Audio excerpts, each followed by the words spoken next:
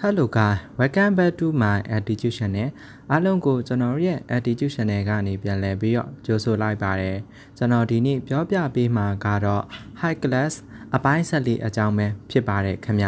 စိတ်ဝင်စားစရာကောင်းတဲ့အကြောင်းအရာလေးတွေကိုပြောပြပေးမှာမို့အဆုံးအထိကြည့်ရှုပေးဖို့မျှော်လင့်ပါတယ်ခင်ဗျ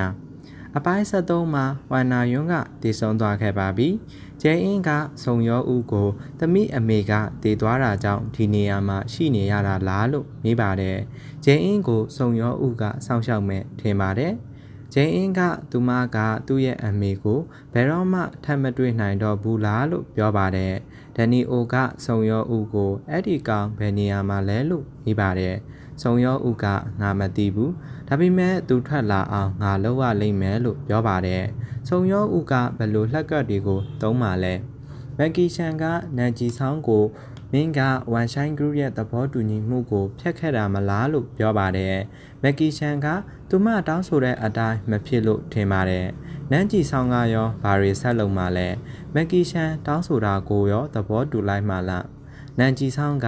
မင်းကဘာအကြောင်းတွေကိုပြောနေတာလဲလို့ပြောပါတယ်။တစ်ဖက်မှာဆိုရင်လည်းရှားတို့ရောင်ကတော်တော်လေးဒေါသထွက်နေပါတယ်သူမကငါဒီလိုပုံစံနဲ့အသက်ဆက်မရှင်ရှင်ဘူးလို့ပြောပါတယ်သူမကအရာအလုံးကိုလက်လွတ်လိုက်ရပြီလားဆုံရောဥကငါနောက်ကျနေပြီဆိုတာကိုသိတယ်ဒါပေမဲ့ငါဒါကိုတေချာအောင်လုပ်ရှင်သေးတယ်လို့ပြောပါတယ်အန်ချီယုံကဆုံရောဥစီကိုဖုံးဆက်ခဲ့ပါတယ်